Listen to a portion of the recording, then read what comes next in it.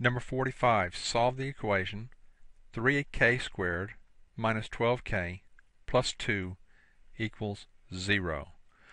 Well, we can identify the coefficient of k squared and say a is 3, the coefficient of k is minus 12, so b is minus 12, and then c is going to be 2.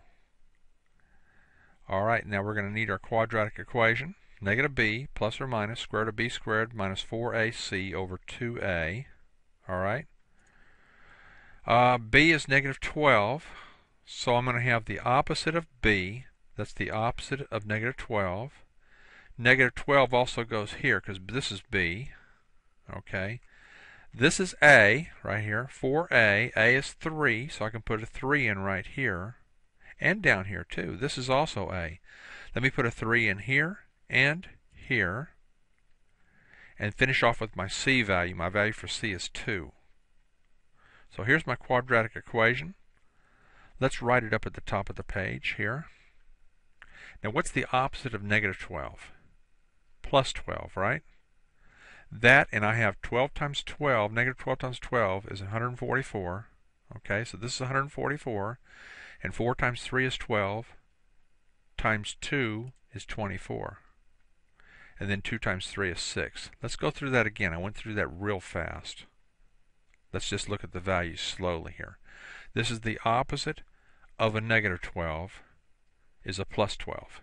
All right? Now we have negative 12 times negative 12 is 144. It's plus 144. We have 4 times 3 is 12. 12 times 2 is 24, and it's a minus. And we have 2 times 3 is 6. All right? Now 144 minus 24 is 120. All right? And 120 is uh, 4 times 30, isn't it? 4 times 30 is 120. And I say 4 because I know what the square root of 4 is, you see. So it's 12 plus or minus. This is going to be a 2. Okay? Square root of 30 over 6. I can split this into two fractions here. I can put the 12 over the 6, and I can put this right term over here over the 6. I can reduce the 12 over 6 down. 6 goes into 12 how many times? 2 times, plus or minus. The 2 6 is the same thing as 1 third. You can divide this by 2 and this by 2. You're going to get a 1 times square root of 30 is a square root of 30. And 2 goes into 6 three times. We cancel the 2 and 6. We get a 1 third.